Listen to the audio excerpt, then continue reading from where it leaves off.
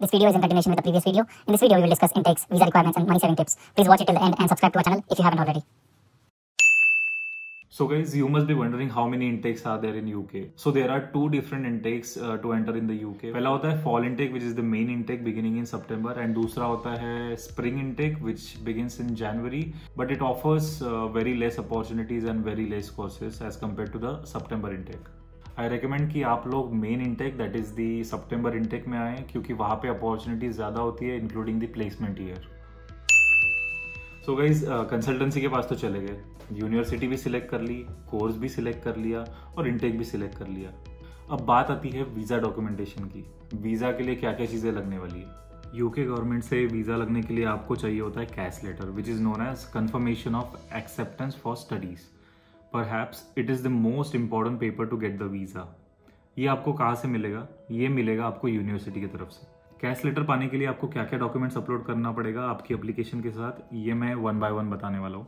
पहला आता है academic qualification which includes your transcript और degree if you have pass your graduation with semester based pattern तो आपको लगेगी सारे सेमिस्टर की marksheet including tenth and twelfth की मार्कशीट सेकेंड ध्यान दीजिए, विदेश जाने के लिए इंग्लिश ज़रूरी है। और अगर आपको ट्वेल्थ स्टेट सी और आई बोर्ड के इंग्लिश सब्जेक्ट में सेवेंटी परसेंट से ऊपर हो तो आपको आई देने की ज़रूरत बिल्कुल भी नहीं है।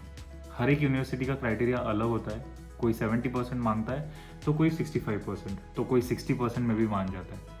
अगर आपकी यूनिवर्सिटी आई की रिक्वायरमेंट मांगती है तो आपको आईएलटीएस का सर्टिफिकेट लगाना लाजमी है। आपने अगर हाई रैंक यूनिवर्सिटीज़ को चूज़ किया है, और आपको जी मैट या जी देना ज़रूरी है तो उसका सर्टिफिकेट या मार्कशीट दोनों में से जो भी है, वो लगाना ज़रूरी है। सो गाइज़ मेन बात आती है बजट की। आपको खुद के या आपके पेरेंट्स के अकाउंट में फ़र्स्ट ईयर की course fees plus living cost for one year दिखाना ज़रूरी है। अगर आपने पहले ही फ़ीस भर दी है तो सिर्फ़ एक ईयर का लिविंग कॉस्ट दिखाना है। For consecutive twenty eight days अगर आप अपने पेरेंट्स का बैंक स्टेटमेंट यूज़ कर रहे हो so you must include a letter of support from parents and proof of the relationship point number five any gaps between the graduation year and the admission year shall be justified इसका मतलब क्या है कि अगर आपने job किया है कहीं पे तो उसका एक्सपीरियंस सर्टिफिकेट या घर पे आपका कोई बिज़नेस है फैमिली बिज़नेस है तो उसके बारे में आपको जस्टिफिकेशन देना ज़रूरी है कि हमने इतने साल ये ये काम किया है। पासपोर्ट देना ज़रूरी है for getting the CAS letter सबसे इंपॉर्टेंट चीज़ जिसमें मैंने डिले किया, दो L two letter of recommendation उसके बाद स्टेटमेंट ऑफ़ पर्पस जिसमें आप लिखते हो why you are selecting this university why do you want to come to the UK and last but not the least resume ये सारे डॉक्यूमेंट्स फ़ाइल करने में आपकी कंसल्टेंसी आपकी पूरी तरीके से हेल्प करेगी। आपको बस इतना ध्यान देना है कि आपको ये सारी चीज़ें करने के लिए एम्पल ऑफ़ टाइम आपके हाथ में रखना है। मैं नहीं चाहता कि मैंने जो गलतियाँ की वो आप भी करो। आपको एल ओ आर रेज्यूमे और एस ओ पी पहले से ही रेडी रखना है। In my case I decided in the month of June और सारी चीज़ें मुझे जल्दबाजी में करनी पड़ी। So it's better to plan four to six months before the intake ये सारी चीज़ें आपकी यूनिवर्सिटी रिव्यू करेगी और ये सारी चीज़ें ऑथेंटिकेट करने के बाद आपका होता है credibility interview in that interview same questions will be asked. Why do you want to study in uk why do you want to study in a particular institution? Who is sponsoring you? And some other questions. Credibility interview बहुत ही आसान होता है और आपकी university का country representative mainly वो interview लेता है। नेक्स्ट स्टेप आपको ये करना है कि जैसे ही आपको कैश लेटर आ जाता है तो आपको वीज़ा इंटरव्यू की डेट फिक्स करनी है।